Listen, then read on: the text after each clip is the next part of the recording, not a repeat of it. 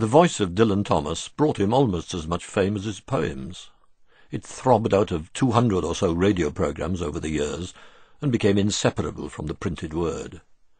When he was still a schoolboy in the 1920s, he made a name for himself in his hometown of Swansea as an actor in amateur productions.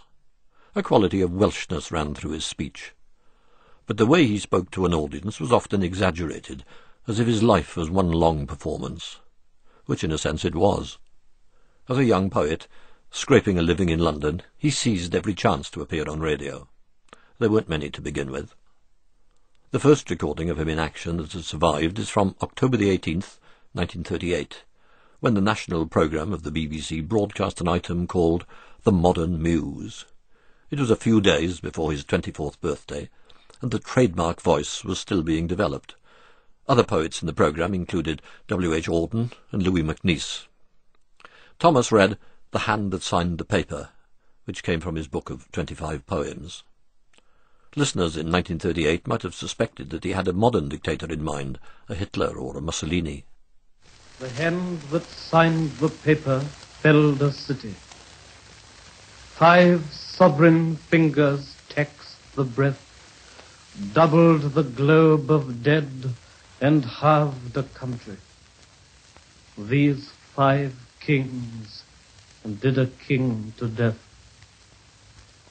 The mighty hand leads to a sloping shoulder. The finger joints are cramped with chalk.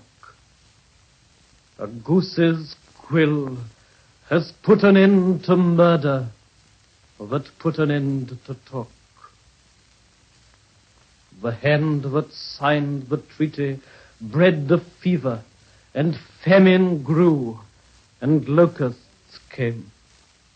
Great is the hand that holds dominion over men by a scribbled name. The five kings count the dead, but do not soften the crusted wound, nor pet the brow. A hand rules pity as a hand rules heaven. Hands have no tears to flow. In much of his writing, Dylan Thomas was drawn back to his early years. The legend of the frenzied poet, drinking his way through a hundred saloon bars in London, later doing the same in New York, is a distortion. He did his share of noisy living, but he was someone else as well. Most of his time wasn't spent in large cities at all, but in towns and villages. His upbringing in Swansea, which was then a seaport and a manufacturing centre, left him with a powerful nostalgia for the smaller provincial world that it represented. He grew up in a genteel suburb, well away from the coal mines and tinplate works on the other side of town, and he went to the local grammar school, where his father was, rather conveniently, the English master. By the time he was a teenager, the centre of his imaginative life was a cramped little bedroom where he wrote poems and copied them into cheap notebooks. Before he was nineteen, he had written getting on for half the poems he'd ever publish. They weren't always in their final form, but they were on the drawing board in Swansea. The place drew him back all his life. In the winter of 1941, the day after German air raids that destroyed the town centre, an acquaintance saw him wandering amid the ruins. Thomas was then twenty-six. Our Swansea is dead, he said. After the war, in 1947, he went back to the town to write a radio programme, Return Journey, in which he searches for the person he once was. The idea is simple enough, even banal if handled by someone less sensitive to memory than Dylan Thomas. He walks the streets, it's February, the month when Swansea was bombed, six years earlier, blitzed, as they used to say. Rebuilding hasn't begun. The town is still in ruins. The voice he uses to narrate the programme is restrained. This isn't the booming poet. It's more the poet thinking aloud. The BBC announcer uses the traditional Welsh pronunciation of the name Dullan, not Dylan. But Thomas thought that Dylan suited him better. We present Return Journey, a feature program in which the poet Dylan Thomas returns to the Swansea of his youth. Return Journey. It was a cold, white day in High Street, and nothing to stop the wind slicing up from the docks. For where the squat and tall shops had shielded the town from the sea, lay there blitzed flat graves, marbled with snow and headstoned with fences. Dogs delicate as cats on water, as though they had gloves on their paws, padded over the vanished buildings. Boys romped, calling high and clear, on top of a leveled chemist's and a shoe shop and a little girl, wearing a man's cap, threw a snowball in a chill, deserted garden that had once been the jug and bottle of the Prince of Wales. The wind cut up the street with a soft sea noise hanging on its arm like a hooter in a muffler. I could see the swathed hill stepping up out of the town, which you never could see properly before, and the powdered fields of the roofs of Milton Terrace and Watkins Street and Fuller's Row. Fish-frailed, net-bagged, umbrellaed, pixie-capped, fur-shoed, blue-nosed, puce-lipped, blinkered like dray horses, scarved, mittened, galoshed, wearing everything but the cat's blanket. Crushes of shopping women crunched in the little Lapland of the once grey drab street, blew and queued and yearned for hot tea. As I began my search through Swansea town, cold and early, on that wicked February morning. I went into the hotel. Good morning. The hall porter did not answer.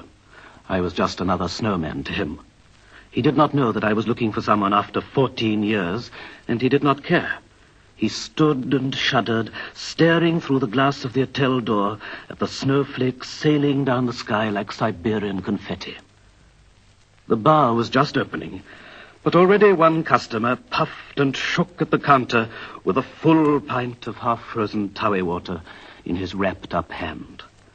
I said, good morning, and the barmaid, polishing the counter as vigorously as though it were a rare and valuable piece of Swansea china, said to her first customer, Seen the film at the Elysium, Mr. Griffiths? Oh, there's snow, isn't it? Did you come up on your bicycle? Our pipes burst Monday. Pint of bitter, please. Proper little lake in the kitchen. Got to wear your Wellingtons when you boil an egg. One and four, please. The cold gets me just by uh... And eightpence change. That's your liver, Mr. Griffiths. You've been on the cocoa again. I, I wonder whether you remember a friend of mine. He always used to come to this bar some years ago. Every morning about this time. Just by year it gets me. I don't know what'd happen if I didn't wear a band. What's his name? Young Thomas. Oh, lots of Thomases come here. It's a kind of home from home for Thomases, isn't it, Mr. Griffiths? What's he look like? He'd be about 17 or 18. I was 17 once. And about medium height. Uh, I'm above medium height for Wales, I mean. He's five foot six and a half. Thick blubber lips, snub nose, curly mouse brown hair, one front tooth broken after playing a game called Cats and Dogs and the Mermaid Mumbles. Speaks rather fancy, truculent, plausible, a bit of a shower-off. Plus fours and no breakfast, you know. Used to have poems printed in the Herald of Wales. There was one about an open-air performance of Electra in Mrs. Bertie Perkins's garden in Sketty. Lived up the uplands. A bombastic, adolescent, provincial bohemian with a thick-knotted artist's tie made out of his sister's scarf. She never knew where it had gone. And a cricket shirt dyed bottle green. A gabbing, ambitious, mock-tough, pretentious young man. And moly, too. There's words. What you want to find him for? I wouldn't touch him with a barge pole, would you, Mr. Griffiths? Mind, you can never tell. I remember a man came here with a monkey, called for half for himself and a pint for the monkey, and he wasn't Italian at all, spoke Welsh like a preacher. The bar was filling up. Snowy business bellies pressed their watch chains against the counter. Black business bowlers, damp and white now as Christmas puddings in their cloths, bobbed in front of the misty mirrors. The voice of commerce rang sternly through the lounge. Cold enough for you? How's your pipes, Mr. Lewis? Oh, another winter like this will put pay to me, Mr. Evans. I got the flu. Make it a double. Similar. Okay, baby. I seem to remember a chap like you described. There couldn't be two like him, let's hope. He used to work as a reporter. Down the three lamps, I used to see him lifting his little elbow. What's the three lamps like now? It isn't like anything. It isn't there. It's nothing, man. You remember Ben Evans' stores? It's right next door to that. Ben Evans isn't there either. We hope you enjoyed this preview. To continue listening to this audiobook on Google Play Books, use the link in the video description.